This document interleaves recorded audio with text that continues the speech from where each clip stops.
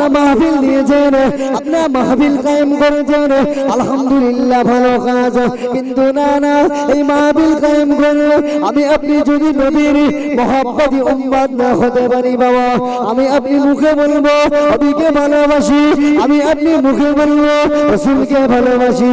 কিন্তু জীবনটা হাসি ঠান্ডার মধ্যে কাটিয়ে দেব, জীবনটা হাসি ঠান্ডার মধ্যে পার করিয়ে দেবো। আরে না না, ও জানেরা, এই জীবনটাকে একটু পরিবর্তন করে একটু চেঞ্জ করে, আল্লাহ নবী মোহাম্মদ কারা আপনারা শুনে থাকবেন, চার ইমামের কিরাম হাসদ ইমামে মালিক রহমাতুল্লাহ সুনামা আল্লাহ নবী এতটা মোহাম্মদ করতে, এতটা প্যার করতেন হাসদ ইমাম মালিক রহমাতুল্লাহ হুজুর কি করেন জানেন? তাম জিন্দগিটা মদিনা শরীফে কাটিয়ে দিয়েছেন। কিন্তু না না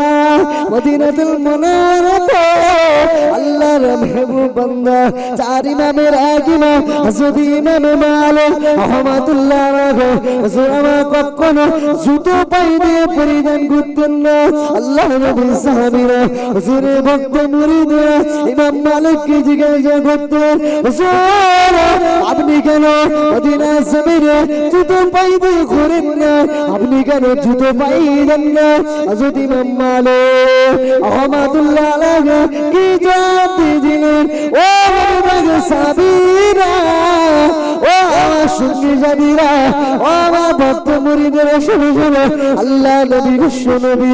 এই মদিনা জমিনে হেঁটে হেঁটে আল্লাহ রসুল। এই মদিনা জমিনে একটু আল্লাহ নবী। মদিনা জমিনে একটু বসে আরাম আমি মালিক যদি জুতো পায়ে দিয়ে করি আমার জুতো কেন আল্লাহ নবী কদমের উপরে পড়ে যেতে পারে। আমি মালিক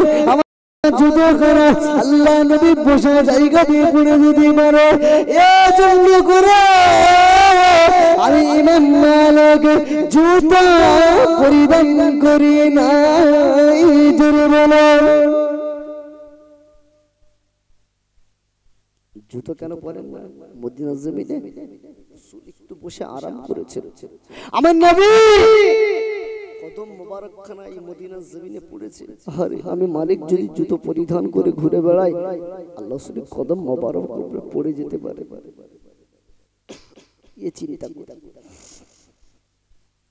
মালিক উটের সহর কারণ আবার উটের পাখারা আল্লাহ কদম মোবারকে যদি পড়ে যায়, কি আসে? কি দেওয়ানা? কি মহাব্বতি উম্মাদ বাবা? আমি আপনি নবীকে ভালোবাসি মুখে। ঠিক কিনা বলে? রসুলকে মহাব্বত করি মুখে। ও জানেরা ও যুবকেরা গো, ও সোনামানিকা আল্লাহর ওলি হযরত ইমামে মালিক রহমাতুল্লাহ আলাইহি হুজুর আমার কি করতেন জোরে আপনি আসলে অবাক হয়ে যাবেন জাফর ইবনে সুলাইমান জাফর ইবনে সুলাইমান আল্লাহর ওলি হযরত ইমাম মালিককে এক সময় চাবুক দিয়ে মারেন এত মা মারেন এত পরখা করে। হযরত মালিক হুজুর আমার তাম শরীরটা রক্তাক্ত হয়ে যায় আল্লাহ জমিনে বসে পড়ে যায় দেখতে পাওয়া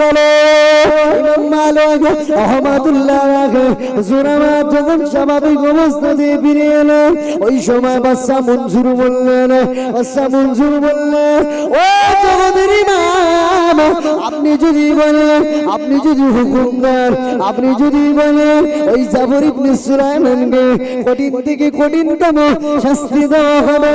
আল্লাহ নলি ইমামে, চার ইমামের ইমাম আলাইহি বলেছিলেন না না না, ও বাদশা মঞ্জুর শোনো শোনো জাফর ইবনে সুলাইমানকে শাস্তি দিতে হবে না। কারণ জাফর ইবনে সুলাইমান আমার নবীর বংশের লোক জাফর ইবনে সুলাইমানকে শাস্তি দেবেন জাফর ইবনে সুলাইমানকে আপনি শাস্তি দেবেন, ঠিকই কিন্তু না না। আল্লাহ নবী বংশের লোককে যদি শাস্তি দেওয়া যায়, আমার রাসূলুল্লাহ কষ্ট পেতে পারে।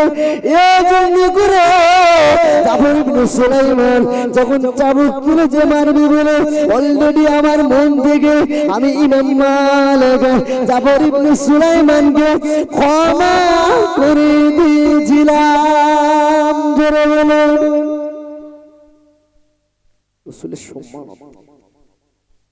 আমি ইমাম মালিক। আমাকে মারলো আমার মারির যদি মার খায় আর আমার মারির বিনিময়ে আল্লাহ যদি শাস্তি দেয় ময়দানে মহাশারে। আর রসুলের বংশধর। আর রসুল যদি কষ্ট আমি ইমাম মালিক এটা করতে চাই না, আমি মাফ করি কোন ইমাম মালিক, যে ইমাম মালিক রহমতুল্লাহ আলাই, মদিনার জমিনে কোনো উটির পিঠে ভ্রমণ করতেন না। তারা উটখানা হাসিদ ইমাম শাফি রহমতুল্লাহ আলাইহিকে হাওলা করে দিয়েছিলেন ইমাম শাফি বলেছিলেন একটা উট কমস কম আপনি রাখেন, অত্যন্ত একটা। ইমাম শাফি হুজুর ইমাম মালিক হুজুর বলেছিলেন, না। নবীকে কেমন মহাব্বত করেছিলেন? নিজের চান অপেক্ষা জীবন অপেক্ষায় তারা মহব্বত করেছিলেন। আমার ভাইরা। সে মহাব্বত কিন্তু আমার আপনার মধ্যে মুখে বলছি নবীকে ভীষণ ভালোবাসি কিন্তু নবীর সুন্নাতকে কবরে দিয়েছি। ঠিক কিনা বলেন? আমি আপনি মাহফিল দেব, বছরে একটা করে নবী দিবস কায়েম করব। কিন্তু না দেখতে পাওয়া যাবে, আবার যদি সুদের সঙ্গে জড়িত থাকি আবার যদি দাঁড়িয়ে প্রস্তাব করি, আবার যদি দাড়িটা কর্তন করি, না না ও জান যুবকেরা এই মাহফিল না জান দিতে পারে নাই বাবা। ও আমার আপনার পীর মুর্শিদ, ফুরফুরা শরীফের মুজাদ্দিদুজ্জামান আলা হযরত কুতুবুল আলম হুজুর আমার শরীফের প্রতিষ্ঠিত আড়াইশো গ্রাম বাতাসা দিয়ে। ও আমি এটাই বোঝাতে চাইছি, এই মাহফিলটা দিয়েছেন, এটাই শিক্ষা নেওয়া দরকার, আমার আপনার জীবনটা পরিবর্তন করতে হবে।